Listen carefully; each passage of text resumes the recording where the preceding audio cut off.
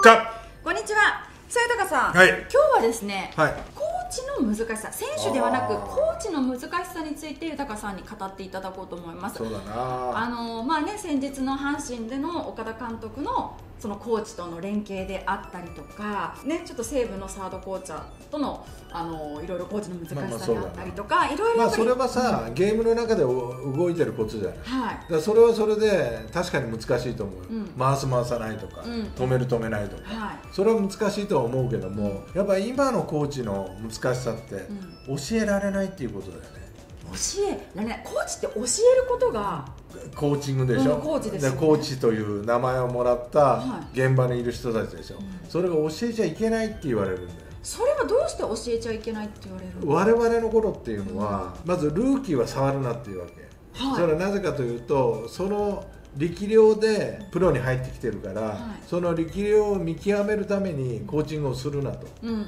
コーチングをするするとまた迷い出したら困るから、彼らが迷ってみんなで話をして、うん。じゃあここを直せばいいなっていう統一の話ができるとしたらそれはコーチングしていこうと、それは新人とかだと入ってから何ヶ月とかまあ、何半年ぐらいだろうな。半年は触らないで、まあ大体、ええ。まあキャンプから見て、うん。6月、まあ交流戦が終わるぐらいまではい。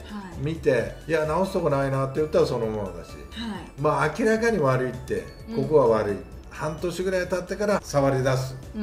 まあ、そんな感じだったんだけども今は一切言うなって言われてる、ダメなんですか？見てるだけなんですか？うん見てるだけ。え？選手たちが聞いてきたら教えてくれとずーっと見てていい時悪い時、うん。体の動きがどうなってるかっていうのをずーっと見とかなきゃいけない。はい。それを自分から悪いなと思っても言えない。うん。それは選手が言ってきたら言ってくれと。えー？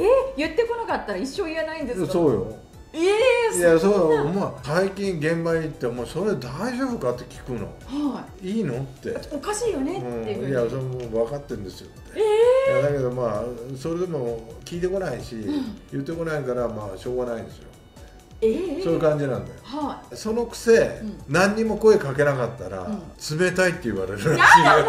いやもいや本当に。うえいやだからかまってちゃんが多いのにえー、話せないとでかまってちゃんが終わったら「おおよかったね」って言ったら安心するらしいんだよ。直したくても？うん、まあ直したい時あったらそうあの今日どうだった？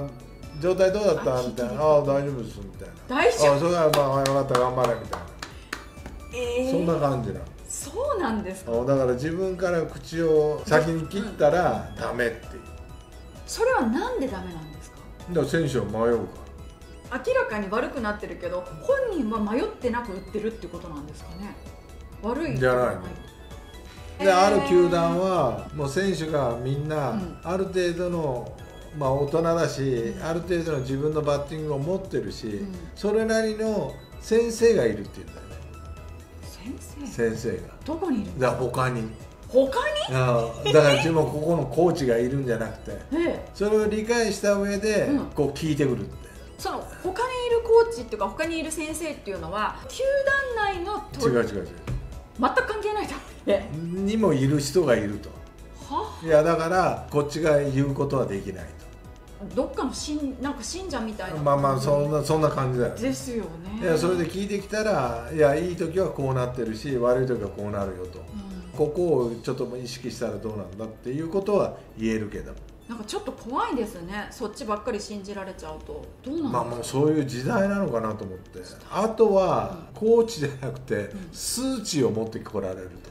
本人から数値を測ってるから。あそうかそうか。自動に解析するやつもあるから機械が、はい。もうちょっと出る時に立てて出した方がいいとか、うん。寝せて出した方がうインパクトゾーンが長くなるとか、うん。そういう数値で言われるから、何にもコーチする必要もないと。うん、AI 化というか。そうそう。だからそうなってくると数字は正しいに決まってんじゃん、そうですよね。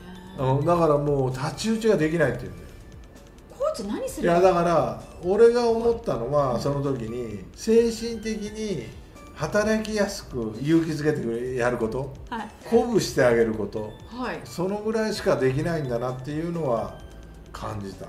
でも各チームに投手コーチチーフコーチ走塁コーチ守備コーチとかいっぱい肩書きはありますけど。だからそれは今バッティングの話ね、あバッティングの話はい。守備はまた違うんだよ、あ守備はまだ違う、守備はノックを打つ。はい。で悪かったらボールの入りが悪かったらもう一歩こう力入ったらどうだとか、うん。ボールの見方っていうのをこういうふうにした方がいいんじゃないかとか、うん。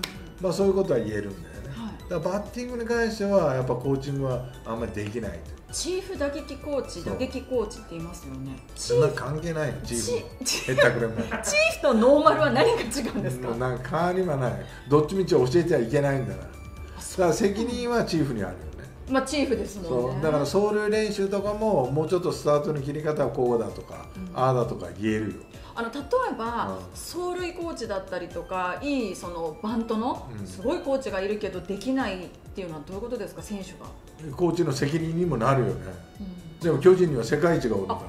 ファーストにそうですよね。そうそうそう。いやだからそれで失敗したら世界一のせいだよね そういやいよねや そうなるよやっぱコーチはね。確かに。うん、そのバッティングに関してはもう数値が出てくるし、まあ、ピッチングコーチもそうですよ。やっぱもう回転数だのなんとかって出てくるから、うん。まあ、いろんなことで角度を探しながら、うん。まあ、やらすとか。フォームに関しては言えないんですかななかなか言えないよね。だからもし言ったらパワハラだとか言われる。コンプラだとか言われる部署もあるから。例えば上投げから君サイドとかアンダーにしてみたらいいよみたいな、まあ、それはもう大きく変えるときはもうオフシーズンうん。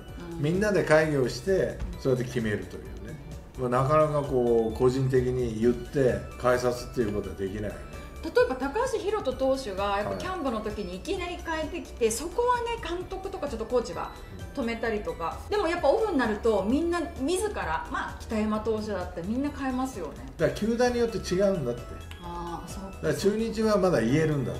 うん。もでも他の球団はほとんど言えないから。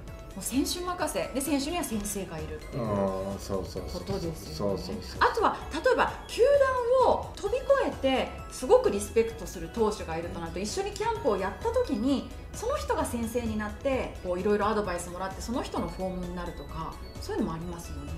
まあそうだうん。な考え方も全然違うらしいよ例えば山本由伸とか高橋宏斗って。だからダルビッシュが聞くっていう面白いから興味があるんだろうね、うん。その感性とチームに戻った時にその感性が合うかっていうと、まあ合わない時もあるし。もちろんそうです。だから余計なことをしたら今はもうコーチは怒られるっていうのそうか例えばですよロッテの佐々木朗希投手やっぱりあれだけの逸材でやっぱり大事に育てなきゃいけないってなるとコーチも変なことは言えないとかいやだからね俺はね思うけどその選手の個人的な人生を背負うことはできないっていう、うんうんうん。そういうことなんだと思うよ。それっていつぐらいから変わってきたんですか？俺が2000年にユニフォーム着た時にはそういう話はなかったんだまだ。まだなかった。長さんの時にヘッドコーチに帰った時にはもうあった、じゃああれあの2011年12年うん。にはもうあった、春がこう帰ってきてなんかブスッとしてるからどうしたって言ったら教えたんですよって、うん。お前教えんなって言われてたじゃんって。でも明らかにおかしくありませんって言うから、まあ明らかにおかしいけど、うん。教えちゃいけないって言われてたから教えなきゃったらよかったじゃんもう教えたのって言ったら「はい」うん。そしたらってそのせ教えた選手が上の言言ったらしいんだよ。球団にですか、春コーチが教え教えられた言って。はあ、したら？そしたら春コーチが呼ばれてえ怒られた。なんで？なんで？ないやまあそういうことがあるんだよ。面倒くさとか思って。ですよね。あいやだから聞いてきたらしょうがないけど。はい。いやお前がやってることは正しいと思うよって、うん。でも教えんなって言うんだから教えなかったらいいじゃんそうです。そうしょうがないよってそういう決まりなんだからって、うん。ルールをそこで作ってるんだから、お前のやってること言ったこと全部正しいと思うよ。うん、だけど選手が正しいかどうかは別問題として、上に言っちゃったんだからしょうがないだろみたいな。確かにね。お前言い方がきつかったんじゃないのって。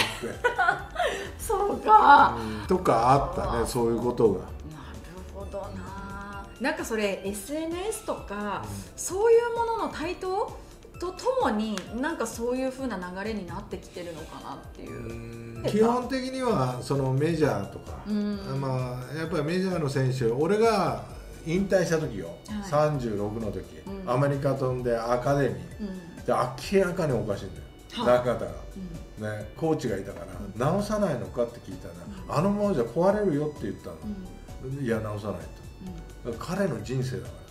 そう俺は人生ああの子の投げ方変えて背負えないって。めちゃくちゃ速いんだよ。速いけど明らかに壊すような投げ方をしてるんだよ。はい。体開きまくって腕ブワー振るからもう絶対肩がくるなと思ってて直さないのかって言ったらいや彼の人生俺が背負えない。なんかそれいいのか悪いのか何なのか分かんないですね。でもいいやつはいくらでもいるってもったいない。いやだからしょうがない。よまあまあそうなんだろうなと思って。でも彼が聞いてきたら別だって言ってたよあー。でもこっちから多いとは絶対かけられない。そのピッチャーどうなったんですかね。あもう肩抜けたんじゃないもう飛んでもうっていうか飛んでいっちゃいますよね。まあまあそういうこともあってだからコーチって難しいよ今。コーチの役割存在？本当に難しい。本当にもうずーっと待ちの姿勢でいなきゃいけないだから教え間っていうのも、まあ確かに過去はいたよ、教えたがるんですか、うん。教えたらもうもう止まらない。そういうことです。うん。俺が全部教えてやるそれはそれで面倒くさい。面倒くさいけどもやっぱその愛情はあるよね。その選手に対しての、だけどそれが鬱陶しいと思うような選手もいるわけもちろんそうです。いやだからやっぱ頃合いを見つけながらやらなきゃいけないし、うん。教える時も、うん。基本的に教えちゃいけないっていうのも、まあ、最近理解はしてるけどもね、うん。まあだけどやっぱこう面倒くさい世の中になったなっていうのがね、うん。あるよね。ありますよね、でもその中でもまあ前の動画でも言ったかあれなんですけれども例えば、ね、巨人の桑谷軍監督がいいタイミングの時にちょっと声をかけるとか上からではなくこうしたらどうかな,、みたいな提案っていう形で。でもね、うん。今の子って繊細だから、ん。まあ、例えば終わって「およかったじゃないか」ってうん「あよかったですか?」みたいな「およかったよ。もう少しステップがどうのこうの」って言って、ね、やればいいねもっと良くなったのにな良くなるのになって。何気ない一言が「いやあのコーチにステップがどうのこうのって言われたから打てなくなりました」って言われたらもうそのコーチ終わっちゃうんだから。それもダメなもうの大変だよ本当に。だからもういわゆる今選手の方が上いでやもうそうだよ。コーチ監督下になっちゃったいやだからコンプラとかパワハラとかが、まあ、武器だったんだけど、自分たちを守るためのね、はだけど今弱者がそれを、ん。あの盾に使って強くなっちゃってるからさ、は上にいる人間が弱くなっちゃってるんだよ。気を使って。そうです。ら何も言えないみたいな。だからコーチって今面倒くさいし難しいんだよ。これこの先もうデータ化とか AI とか進んでいったらコーチってどんどん減っていくと思いますか？でやる意味ある？ないです。確か全く魅力感じないよ。うんない。いやーもう本当に手塩に育てた選手が活躍してくれたおーいみたいな、師匠みたいな、そういうことがないよね。ないです。あんた誰みたいな。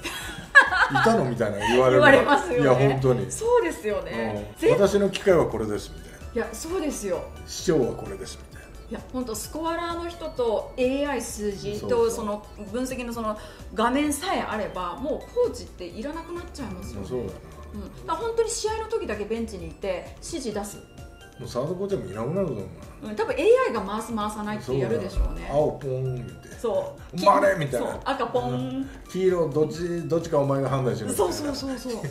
そしたら選手もあのコーチも責められないし誰からね、だからまあそういうことを考えるとやっぱこう人間味がなくなってきてるっていうことはあるよね、うん、そんな感じしますよね。コーチでもう圧倒するぐらいの知識があるというか今いますか？いやだから勉強するんだよ。ああそっか。そうじゃないとコーチングはできないと思そう。ですようね何を言われても最先端行ってるとかさ、それを勉強したらできるから。多分今ダルビッシュ投手が現役ですけどもどっかのコーチになったらみんなもしかしたらダルビッシュ投手の言うことならそうですよねって受け入れいやだから圧倒してるからね。そうなんですよね大谷の話だと聞くと思う。聞きますよ。圧倒してるから、うん。うん、コンちゃんの言うことだけ聞くと思そうですようね。圧倒してる。いやだからその圧倒する力をつけるか絶対的な知識をつけるか勉強するか、うん。どっちかだよ。なんかコーチの生きる道がねどっちかになってきましたよね。そうだよ大変なことだから確かに。ただやっぱり今今まで勉強してなかったっていうことも付けとして回ってきてるんですか？いやで、もそりゃそうだよ。うん、ただ勉強したら必ずん。それは知識知識として残ることだから惜しまないことだよ。あと勉強すること。そうですね。豊さんもねそういったいろんなバッティングフォームをされてる方その例えばデータ解析とかそういうのに出向いてるじゃないですか、まあねあやっぱり自分自ら行くことっていうのも大事です勉強なの面白いぞ。うん、うん。そうですよね。いや面白い面白い。うん。だからそういうことをバカにしないで、うん。自分の中でこれ固まってないようにね柔軟性を持って対処していく、うん。まあ、これが大切かな、そうですね、はい。はい